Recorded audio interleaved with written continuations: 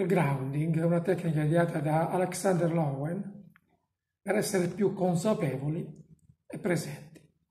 L'obiettivo è aiutare le persone a ritrovare il loro senso di connessione con la vita e con gli altri. E mm, radicarsi è l'unico modo per farlo. Lo scopo principale consiste nel radicare l'individuo nella realtà del suo corpo e della terra. Nella nostra cultura la gente ha un grande bisogno di lasciarsi andare, non dovremmo per paura di arrenderci, tra virgolette, purché ci arrendiamo ai nostri corpi, alla terra, alla vita. Perché così ci abbandoniamo alla sola forza che in ultima analisi può veramente sostenerci. Radicarsi ed essere connessi e presenti con il proprio corpo significa radicarsi ed essere connessi e presenti con la vita e quindi migliorare la qualità di vita. È una tecnica di autoconsapevolezza. Il suo presupposto è per, che per vivere in armonia e ben presenti è necessario avere un buon contatto con la terra.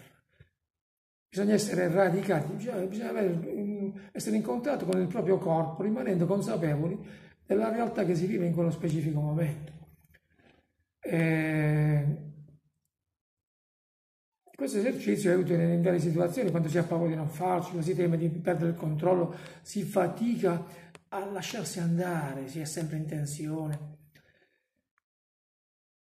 Un esempio pratico per applicare questa tecnica, mettetevi in piedi in modo possibilmente rilassato, sciolto, le braccia oscillano da sé, le gambe leggermente divaricate, portate la vostra attenzione alle vostre gambe e ai vostri piedi, portate tutta la vostra attenzione al modo in cui la vostra pianta dei piedi aderisce perfettamente alla suola della scarpa e al terreno.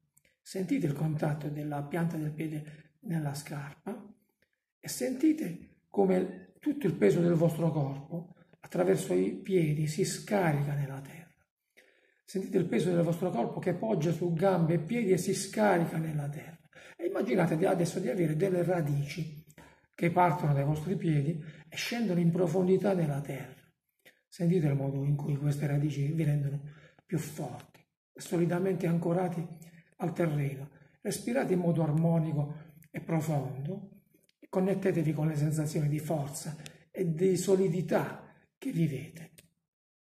Sì, perché la respirazione è fondamentale. Il respiro è il più importante degli strumenti per la consapevolezza e per la crescita personale e spirituale. Il respiro è lo strumento e sono consapevole di quanto possa essere quasi un'offesa chiamarlo strumento, tanto è la sua sacralità.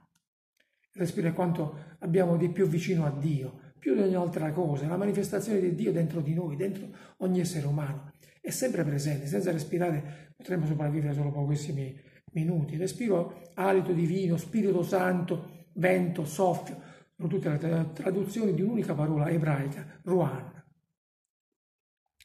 Quando ti accorgi del tuo respiro, ti accorgi del tuo spirito. Quando ti ricongiungi col tuo respiro, ti ricongiungi col tuo spirito.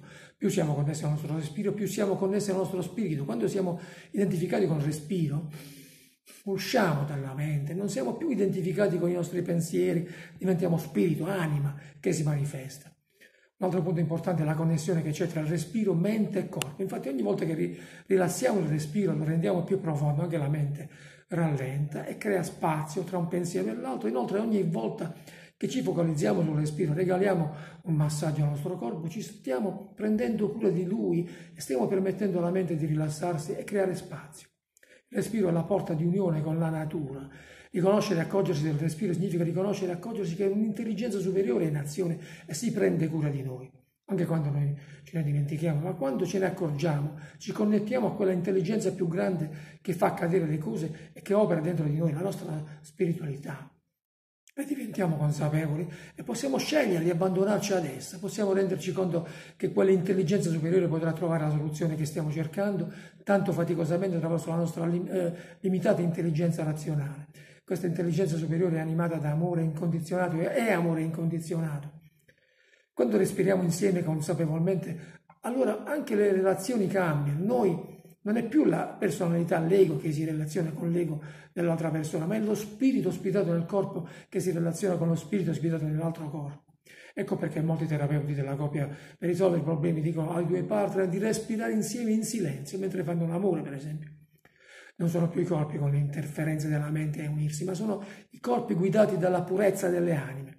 Si focalizzano sul respiro e diventano un unico respiro, diventano un unico spirito, un incontro con l'altro in quel campo dove l'ego non ha spazio, diventa uno, lo stesso spazio, lo stesso respiro, per accorgersi che alla fine lo spirito è uno solo, lo stesso spirito ospitato da entrambi i corpi, da tutti i corpi.